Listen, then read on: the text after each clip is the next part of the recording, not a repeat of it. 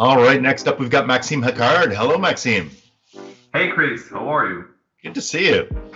Good to see you too. Thanks. So, uh, for those who don't know you yet, tell us a little bit about yourself. So, I'm Maxime Hacquard, a French motion designer. I'm the co-founder of the Motion Designers community and MHS Prod director, and I mostly focus on 3D motion graphics. Excellent. What are you going to be talking about today?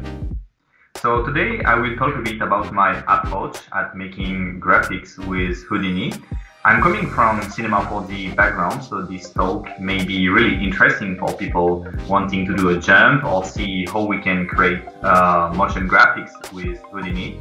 And I will talk a bit about my director position. So I will try to give a bit uh, an idea how I manage to work with several Houdini artists. So maybe that will be great for people maybe wanting to know how they could be hired in smaller creative studios because we heard a lot of people wanting to reach cinema studio, but little studios like the one I have also exist with two or three people working and we are always looking for Houdini artists. So I wanted to share also the smaller creative jobs. Excellent. Fascinating. I love that. Uh, so let's jump in. Yeah, let's go. Hey everyone, hope you and your family are well. I'm super happy to be here today thanks to OFFF and SideFX. Uh, so today I will do a call for the beginners and people that are interested in uh, motion graphics and 3D in uh, general. I hope you will enjoy. Uh, this talk will not be about um, crazy photorealistic uh, VFX and more about uh, simple and uh, fun visuals. So small presentation about um, myself. I'm Maxime Hacquard, a digital artist from France, director of the small studio MHS Prod. Uh, I like to create uh, dark and uh, abstract visuals. I'm also the admin of the motion designers community. You probably uh, know the community from Instagram or our YouTube channel where you have uh, nice Houdini uh, content. Um, I invite you to check out the channel if you're not familiar with it. You have a lot of uh, educative content. You can also find me on uh, Behance to have a wider idea of my job and of course in the online communities like the MDC face Facebook group and the MDC Discord. Um, which is a nice place to share work, have uh, industry news, ask for feedbacks and everything. So if you're already familiar with the community, um, I'm really glad that you're watching this uh, talk and if you're not familiar, please uh, check out. It's a really nice place to uh, progress um, all together. So you can uh, find me on social media, of course, and yeah let's uh, start so what I do I'm a digital artist director community admin and educator and definitely not a godlike VFX uh, artist. Um, I do a lot of uh, little tasks every day and I'm not like a full-time uh, working on big films or all those things. So it gives you a better idea of who I am what I'm doing and uh, what you can learn by watching this um, talk. Um, I also have done two other presentations that I think are worth watching, especially if you never tried Houdini. I'm coming from Cinema 4D and After Effects background, and uh, I explain in my call uh, in my talk called Houdini for 3D motion graphics why starting and how um, how I started, what I like in Houdini, what I miss in Houdini and all those things. And I have another uh, talk called Houdini as a Vector of Creativity, which is a longer uh, talk where I show what I do with Houdini, what my friends are doing, and I talk about some uh, cool projects. So if uh, you're interested I think those are nice resources especially uh, for beginner uh, I want to be clear on that. Um, it's definitely not technical stuff and clearly uh, oriented to people into motion graphics coming from After Effects or Cinema 4D background or even even Blender. So here is some style frame uh, from what I do uh, without um, Houdini. Uh, I like abstract, dark, and surrealism uh, universe, and I um, a few years ago I started to learn Houdini to uh, add more creativity into my work and break my habits. And I was able to create more organic design and um, renew what I was doing. So it's uh, definitely a great experience that I keep uh, enjoying and I keep uh, experimenting creating small uh, things and definitely bigger project as well but um, I love to create small experiments using the different tools that you have inside the software um, I can show you a little bit uh, of insight as an example on uh, this project this project was a project created for uh, Adobe Maxon collection. So they asked me to create a series of abstract visual for stock. It was for promoting Adobe stock. And uh, my good idea was uh, why not creating uh, Adobe Maxon visual with uh, SideFX Houdini. Uh, of course, I used um, Cinema 4D and um, Adobe, but many of the main shapes and main setups were done in uh, Houdini um, to create uh, those kind of really cool um, little simulation to create uh, fun motion graphics like here with the for loops and uh, all those uh, little uh, satisfying uh, elements that you can create with Houdini. So I can show you a little bit about how it's created and maybe it can give uh, people uh, an idea about uh, the power of Houdini. So the this first setup was uh, really simple and what I do is often really simple. Um, so here it's a simple plane with intersection, uh, triangulate 2D node, uh, divide and compute dual option, then a little bit of um, calculation to uh, find some paths, apply colors, create some patterns, and this create these uh, really cool um, organic patterns that I will probably not um, have been able to create uh, in uh, Cinema 4D. I li really like Houdini for the output you can quickly get on uh, organic uh, design and then I used uh, Cinema uh, because unlike VFX or client job where you have mood board, a storyboard or a, a, precise idea of what you will do, I just experimented and uh, like a photographer I imported my setup and was just uh, playing around trying to find cool lighting and cool angles. So that's a really fun way of uh, creating and different than a client job because here you can just uh, experiment a little bit more and just uh, you know change change angle more freely. This one uh, again the main shapes were created in uh, Houdini and uh, for the purpose of the collection it was created with um, Cinema 4D Maxon and post-prod with Adobe. And again Houdini really strong at creating those kind of uh, uh, abstract shapes. And I like this example because um, I have uh, beginner students and many um, ask me uh, why I think Houdini is more powerful than other uh, software to create this kind of thing.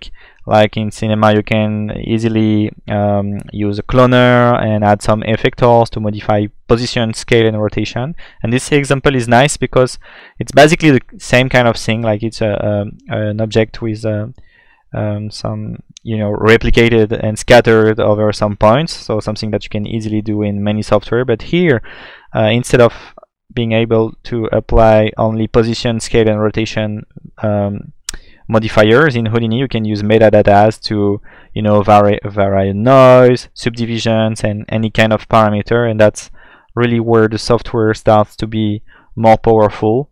And then um, you know I just play with a simple built-in uh, nodes like connect adjacent pieces, polywire, VDB from polygons to create uh, fun shapes. Um, so yeah, Houdini could be you know used for the, the most simple things and you can output really cool results out of it. Here I played for those three visuals with uh, Vellum, which is an incredible solver uh, for glosses and uh, strands, hairs, and here it's um, for loops uh, workflow. Again, it's uh, super easy to create this kind of uh, patterns and uh, animate them in Houdini uh, because you can easily repeat 10, 20 times an operation.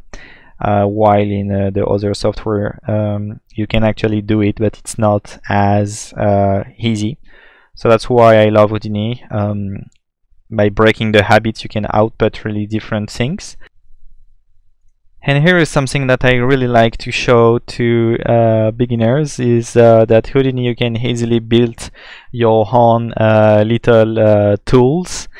Um, and uh, I like the mindset you will do something once and never do it again so it will take more time to build the whole setup, but once it's built, you can simply save it as an asset, share it with your friends, share it with your team, and have a nice output uh, out of it. Um, I've worked a lot uh, on bigger ads this year, but um, due to NDA or unreleased yet project, I will show you um, uh, smaller jobs and more and more often agencies um, called me to create 3D stills uh, for art direction, which I think is uh, pretty cool uh, to create directly 3D uh, instead of having um, Photoshop in 2D and then trying to turn it into um, 3D. So here um, it's all done uh, with uh, Houdini and I wanted to use Houdini because um, the client wanted to get uh, unique uh, visuals. And um, they also wanted to have some kind of realism on it. And another people tried before me um, and was using cheats like uh, noises and kind of displacement. And it didn't work that well. And I think Houdini was the perfect tool to achieve uh, this kind of uh, really nice looking um, and realism effect. So here it's like a real simulation and here as well simple stuff uh, but um, I think I will not be able to create those kind of nice results that fast with other techniques. So here it's just like simple ripple solver um, to create this uh, nice uh, ripple effect here it was built using the ocean tools and here it was like a cone simulation that was done uh, apart and here you have more little particles. And the client was really looking for something you know um, looking like water. So that was really great to use Houdini because I think it provides accurate results really fast. So here is more frames um, from the the art direction of the project and the the still frames. So here is just like simple noise and figure spread out, so something really really simple. And I really like Houdini for that. I think it's nice because you can easily create iteration. Um, to me, you can create accurate sims. Uh, I ask myself what tool I should use uh, before st starting this and uh, I think I will not be able to produce fast result like that using other tools like Cinema 4D or Xparticles and it's real 3D and it's really important because even if it's style frames um, it's important to have real 3D if the client let's say wants want to change the lighting or an element you can really create uh, different uh, stuff. It's client friendly uh, and it's graphic motion friendly because if the client likes your art direction that was built in uh, in 3D you can e more easily start to do a motion and the motion will looks more like the what you provided while it's if it was done fully in Photoshop it could be harder to replicate exactly the same kind of things and it's easier for teams uh, because you can easily share your setup you can uh, hire uh, in my position uh, better or technical artists to build some tools and collaborate more e easily. So yeah definitely something that I like uh, in the process of uh, you know creating style frames for art direction so directly after the brainstorm, creating 3D still frame uh, is nice. So more and more agencies um, called me um, to do that, and I'm happy because uh, a few years in the past it was often the agency directly having 2D um, concepts, and out of those 2D concepts, we should create 3D. And now uh, working hand by hand to directly provide to the client something in 3D is uh, I think better for everyone especially if the final goal is to create motion design. Um, few little points for people watching beginners. Um, Houdini is really famous for VFX work and a bit less for motion because it's uh, I think used for less years in motion. And motion is not VFX definitely. You spend a lot uh, less time on projects uh, it's definitely less technical, but you have shorter deadlines and clients that can change or really more uh, their minds, so it's really different. Uh, so skills required, of course, are different. And another point that I think is uh, worth mentioning is uh, that every 3D motion is not like man versus machine uh, in terms of uh, requirement. Man versus machine is probably um, one of my favorite company um, I think I, I started Houdini because of their work and it's still one of my favorite inspiration. But uh, every beginner should remind that there is a lot of job that you don't necessarily see on internet or on social medias where you can actually use Houdini with a small technical level and actually have fun, have creativity. And um, I think it's worth mentioning that you you don't have to put that much pressure on yourself. You can without being that much technical already create nice things and let you the time to progress. Um, so uh, talking about uh, my uh, previous conference um, I was uh, having a project of uh, creating um, a conference for kids actually between 9 to 9 to 14 years old to give them uh, the opportunity to discover uh, 3D motion graphics and how they can use uh, mass to um, to create uh, visuals. My motivation was uh, that um, at school you you learn math, but you I, I didn't enjoy it, and I wanted to show um, that you can actually create you know more than um, something just like calculation and all the stuff.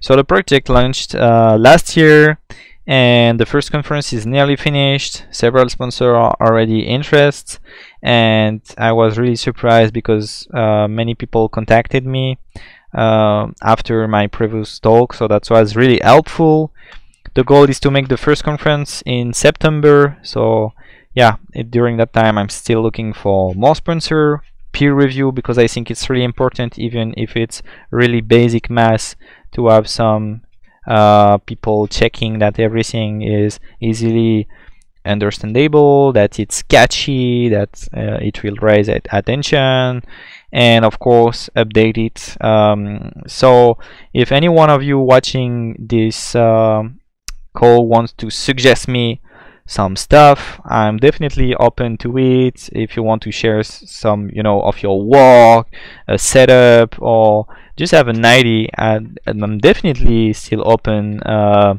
to it.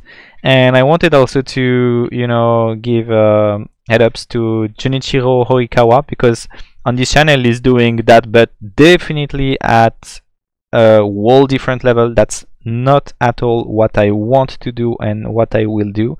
Again, my my goal is to do it for kids, so it will be really basic um, things, basic math, and wow effect, like mostly to make the the the younger generation discover our job but then maybe they will get hyped and few years after they will check this uh, awesome uh, YouTube channel and uh, you definitely need need to check because there is a lot of uh, you know really interesting content all free. And um, I love internet for that for people sharing their knowledge. And I wanted to mention this uh, awesome uh, YouTube channel. So thanks again for watching uh, this really small talk. Thanks for OFFF and uh, SideFX for inviting me uh, feel free to contact me if you want to work with MHS Prod. I'm often looking for uh, freelancers and indies and um, or if you want to just uh, talk about the conference project or just join the motion designers community social medias that would be awesome to connect to connect. Thanks and see you soon